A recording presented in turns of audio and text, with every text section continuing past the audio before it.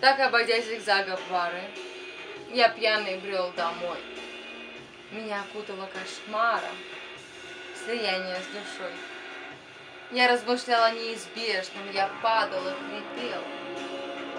Я брел помятый и небрежный среди безликих тел. Она стояла у дороги, платочком теребя.